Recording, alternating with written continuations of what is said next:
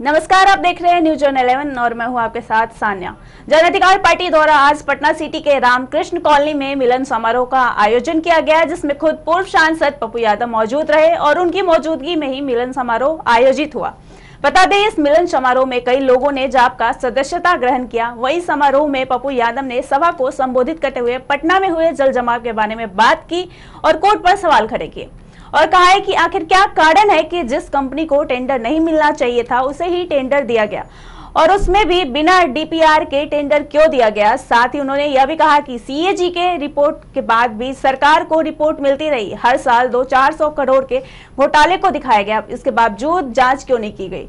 हालाँकि समारोह में पप्पू यादव को सुनने के लिए काफ़ी भीड़ देखी गई। वही पूर्व सांसद पप्पू यादव ने घोषणा करते हुए कहा कि पटना में जो व्यक्ति कचरा उठाकर फेंकेगा, तब दो ट्रैक्टर का पाँच सौ रुपए मिलेगा। ठीक उसी तरह चार ट्रैक्टर का हज़ार रुपए आठ ट्रैक्टर का दो हज़ार रुपए दिया जाएगा।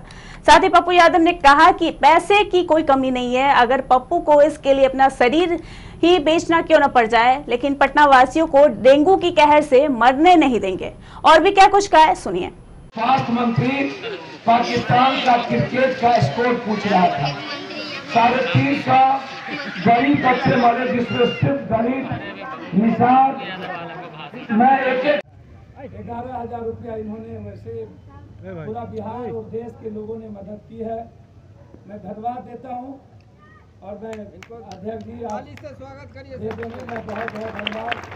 और आपके ही बदौलत हम लोग और आपसे भी राय- आपके अधिवक्ता के द्वारा लिया गया। सर उन्होंने कहा है कि आप आइए मैं आपको सुनूँगा।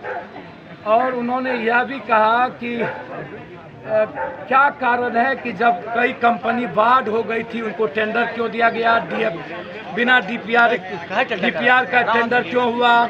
और कैग के रिपोर्ट के बाद जब सरकार को रिपोर्ट मिलती रही, हर साल 2000 200 400 करोड़ रुपए के घोटाले दिखाए गए। फिर इस पर इंक्वायरी क्यों नहीं हुई? बाढ़ के बाद चैलेंज सरकार क्यों नहीं लिया? इसके लिए जिम्मेदार कौन है? कोर्ट ने पूछा है, पच्चीस को उन्होंने सब कुछ देने कहा है। आगे भी जो हाई कोर्ट के न्यायाधीश महोदय ने जो पहले इसी जल जमाव और सीवरेज पर बात कही थी उसमें यह सरकार कोई काम नहीं किया था, इस पर भी कोर्ट दुखी थे।